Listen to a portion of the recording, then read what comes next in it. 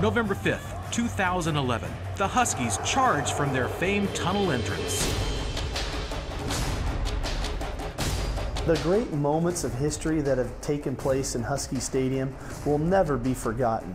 And this one is for the record books. You see, it's the final game on a field dating back to the 1920 opening of the original stadium. From the practical perspective, the stadium was in dire need of some physical improvement. It was uh, becoming almost to the point of a life safety issue. Chip Lydum is the Associate Athletic Director and the university point person for rebuilding a football icon. So that had to be faced, and that happened about six years ago where we had one catastrophic failure of one stairway that dropped in the middle of the winter, which really got our attention. So the grand old lady had to come down.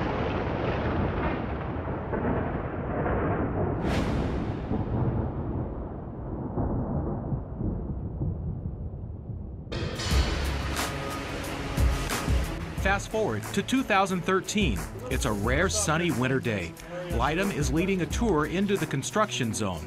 It's a tour that includes the Husky ticket staff that will get their first look at the stadium progress. Now if you look up behind you in the corners, you see the little roof. There's a steel square. That's a replay or video board. Well, I think a lot of us on the project are lifelong Huskies, and we knew sort of the, the essence of the, the, the experience. We protected the view to the lake. Uh, the new south upper deck is, is very much uh, representative architecturally of, of the previous one.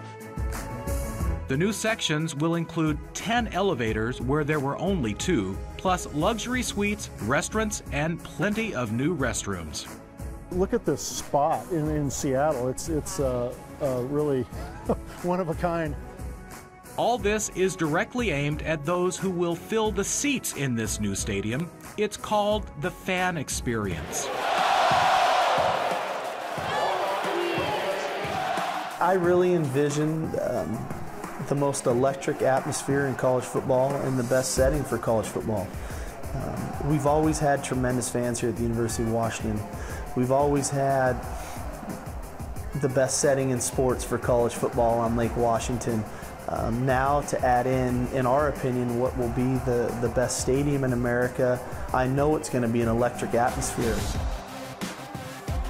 Construction has been on track since day one, with the grand opening set for August 31st against Boise State.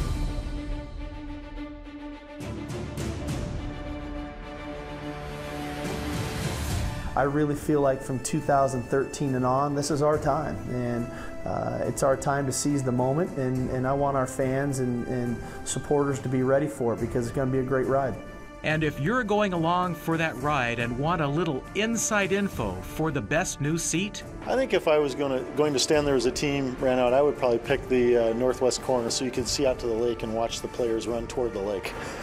That's my own opinion, but uh, th there's not going to be a bad seat in the house.